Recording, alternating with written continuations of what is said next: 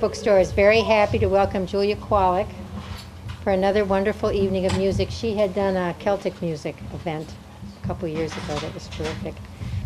Um, she will be singing American folk music accompanied by famed guitarist Peter Lorenco, who also teaches music at Phillips Academy. So that should be a wonderful combination. We remember Julia from when she was a little girl at the store, and she would come for Susan's story time. And then also, you had come years ago, we looked at an old tape. Susan and I did a history of the bookstore for the 200th birthday. So we looked at an old tape that we had done 20 years ago at the Historical Society, and there was Julie in the front row, hardly squirming through the whole thing. And then she came back 20 years later and heard it all over again. and we were also remembering she came once to a um, costume party, and she had her hair as Pippi Longstockings and her hair was sticking up in braids, red braids, kind of coming out at, at an angle on the side of her head. And we said, Julia, how did you do that? And she said, with coat hangers. there were three little Kwolyk girls, and this is one of them. So we've known them since they were very tiny. Um, let me see. She started to sing and play the violin at the age of three. She connects best with folk, country, and jazz styles. In a quest for her own sound, um, when she went to college, she took classical voice lessons and then picked up some Scottish fiddling techniques. Claiming her Scottish heritage and going full speed ahead with Celtic influences, she has particularly strong flair for Celtic music. She attended Furman University and also studied in Vienna, Austria. Um, she's in the process of recording a group of original songs for a solo album where she says folk meets jazz meets classical, and we will carry that here when, when it comes out. It is a lot of fun to visit Julia's MySpace site. You can hear her sing four different songs on her site, and she lists some of her influences. This isn't all of them, but she lists Alison Krauss, Paul Simon, Neil Young, Queen, The Chieftains, Etta James, and Stephen Foster. That's among many others, but I love the whole range of her musical enthusiasms. So I'll turn the event over to Julia and Peter. Thank you. Thank you very much, everyone, for coming tonight. Um, it's really a pleasure to be able to share music with you and music that I really connect with. Um, I've been playing it for a while, so it's been a part of me for a long time. Um, so thanks for sharing your Thursday night with me. Um, First, I'm going to play a selection called Appalachia Waltz, written by Mark O'Connor. Um, he originally wrote it for solo violin in 1993, and then he adapted it in 97 for, um, for an album that he did with Yo-Yo Ma and Edgar Meyer, which some of you maybe are, are familiar with. Um, but I'm going to play the solo violin version.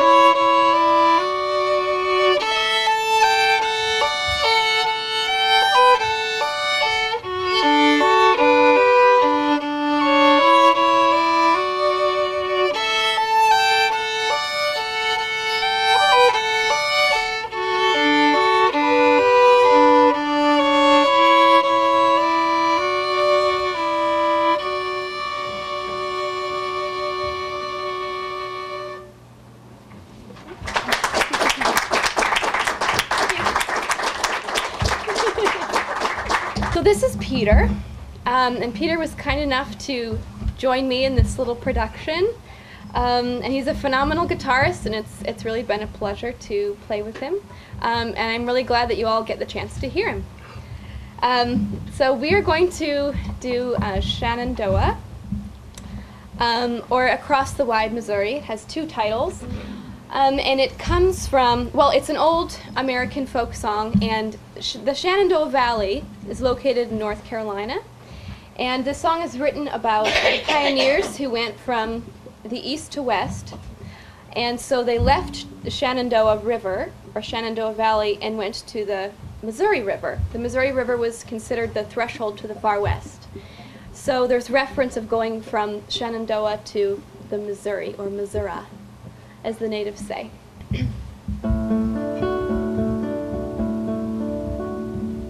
oh, Shenandoah, I long to hear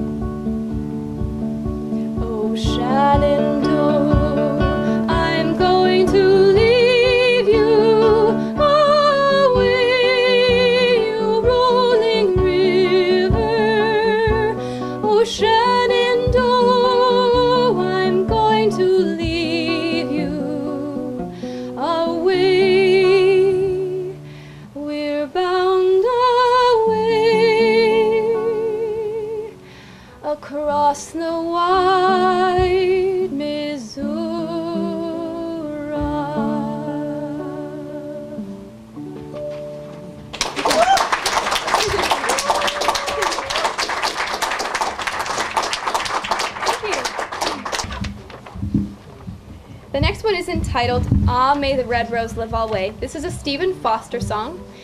Not one of his better known songs, but it's from a collection of parlor ballads. Um, let's see, it's from 1850. That's when the collection was published. And um, it draws from Anglo, Scots, Irish um, traditions, um, but it has a lot of um, has a lot of tenuto and fermatas in it. Because um, as you'll notice with the words it's talking about oh i wish that things would live forever that the, the red rose would live always and things would never die. Um, and there's a lot of imagery with the seasons and changing of seasons. And so the fermatas kind of reflect um, that part of the text or that meaning of the text. And so for all those of you who are not musicians a fermata is when you hold a note. So you'll hear a lot of suspended notes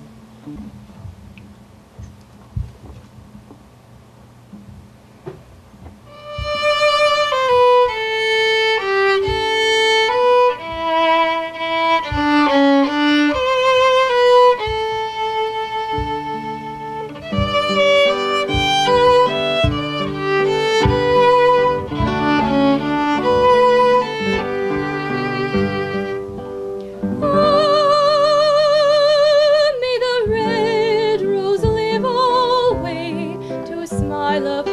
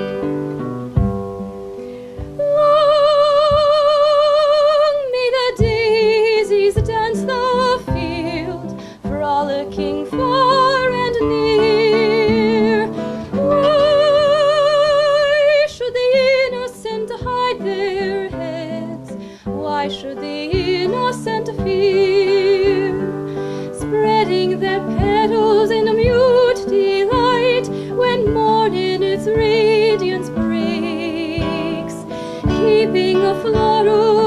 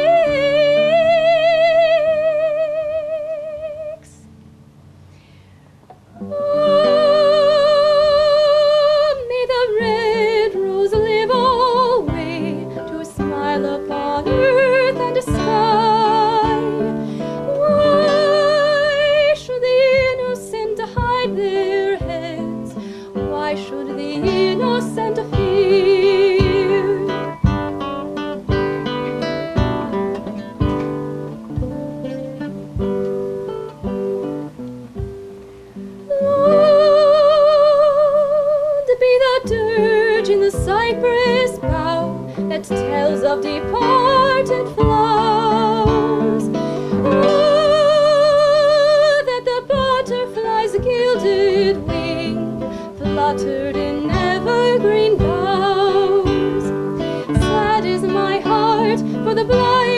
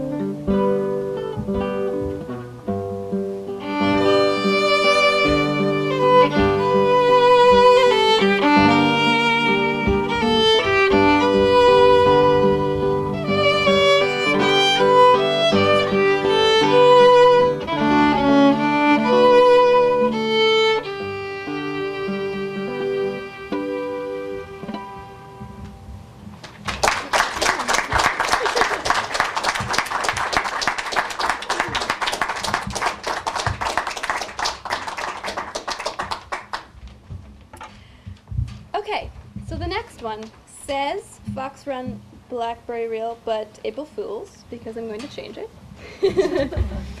um, I'm going to do one called The Hot Canary. um, it's it's a traditional American tune. Um, I don't know how old it is, unfortunately, or who wrote it, but it's fun, so I'll play it.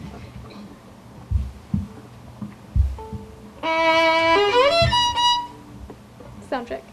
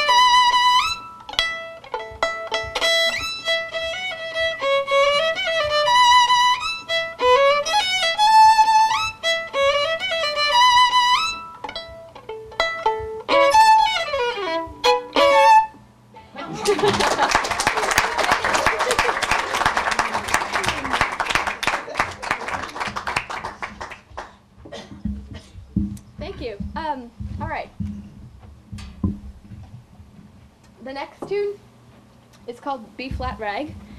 Um, and it's a tune from Alabama. And it has Cajun roots, so you'll notice that it's got some syncopation in it.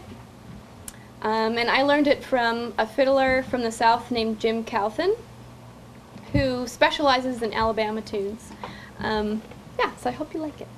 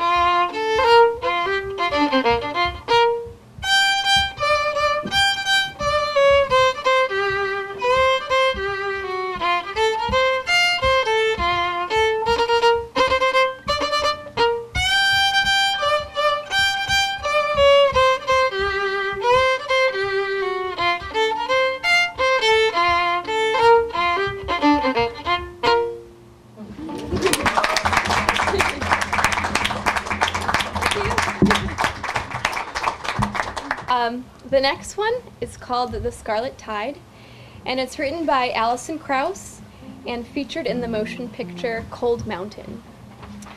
Um, I'm sure you've noticed that a lot of the songs I'm singing are kind of sad or forlorn, um, but that's typically what ballads are um, for American folk music. Um, but for me, I, I feel like I have a strong connection to them, and a lot of them have um, what's called a pentatonic scale. Um, so it's using only five notes of the scale, and it it gives um, sometimes sort of an eerie um, an eerie flavor to songs when they're in minor. That is. Um, for all you non-musicians, that just means it's arranged in a certain way that naturally makes you feel a little more um, mourning, I guess, for the music.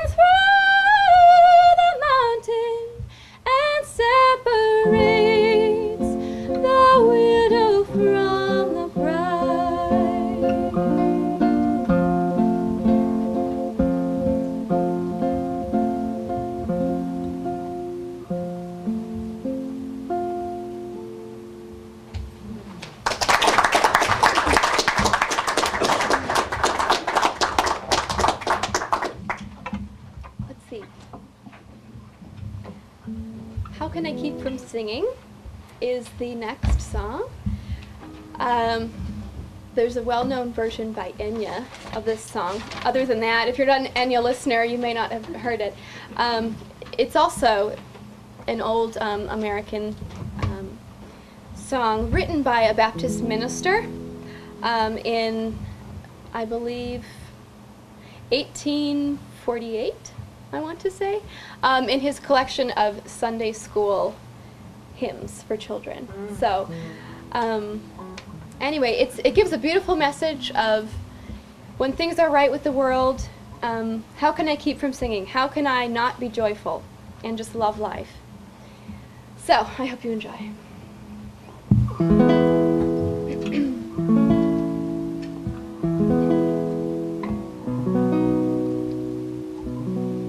My life goes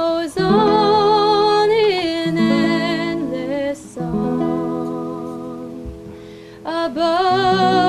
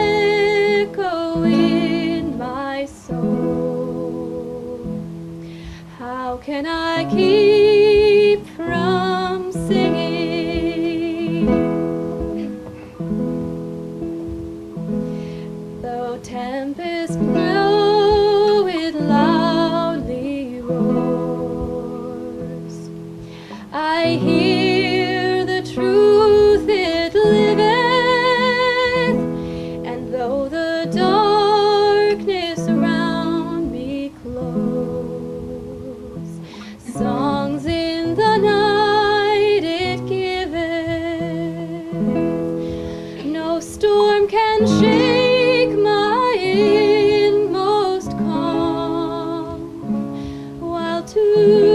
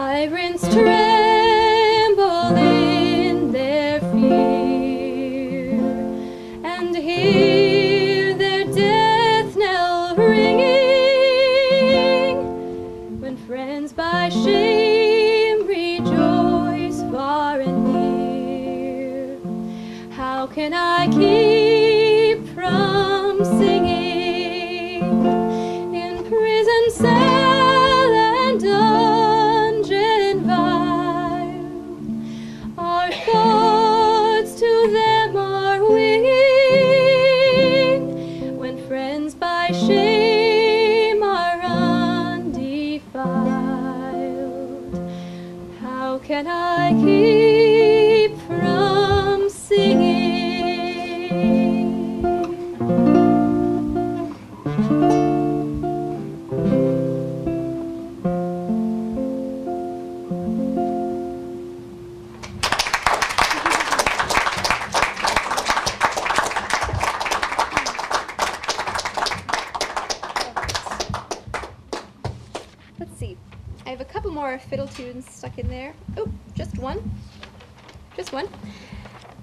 And it's entitled Louie Ann. Um, and I learned this uh, at a fiddle gathering, a fiddle school in North Carolina called the Swannanoa Gathering. Um, it's a long fiddle camp um, of all different styles that lasts the whole summer, every summer. Um, and that's where I learned it, and um, just from a friend of mine. I actually don't know the origin other than it's traditional American. Um, and it's It's very sweet, probably written about someone called Louis Anne.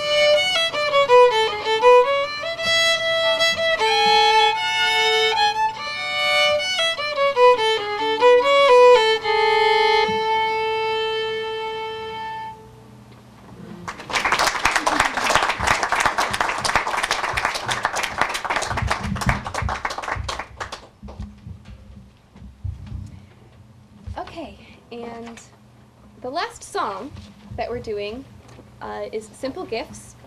Two songs. Right. The second to last song we're doing is called Simple Gifts. Um, I'm sure you are familiar with it. Um, it's traditionally a shaker tune. Um, I'm going to cheat and look at my notes. Traditionally a shaker tune. Right, written by Joseph Brackett and um, in 1848. It's known as a dance song.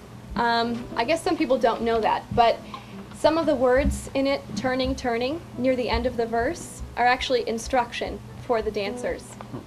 So if you all feel the impulse, go ahead.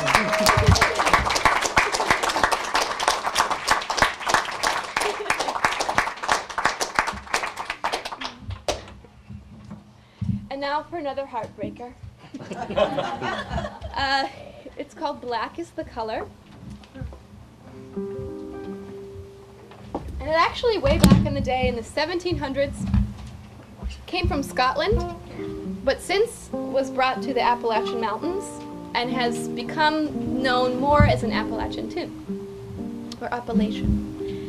Um, so, uh, it's about a woman who's lost her lover. He's out on the sea somewhere, and she doesn't know if he's going to return. Um, so she sings about him and how she wishes that someday they will again be together.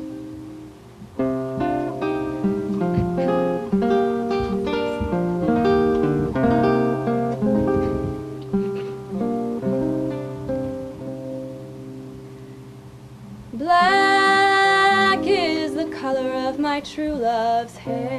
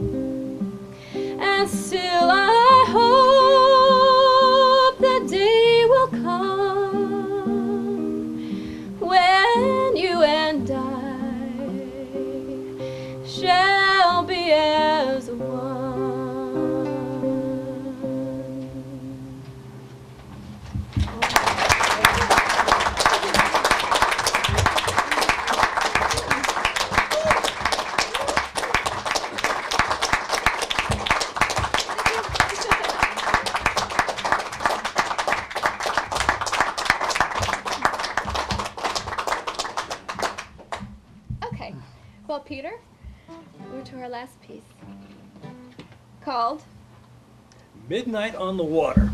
Yes. It's a waltz, and it's an old time waltz, which means that it came after bluegrass. That's what that's what old time means when something has an old time heritage or categorization. Um, sorry, I reversed it.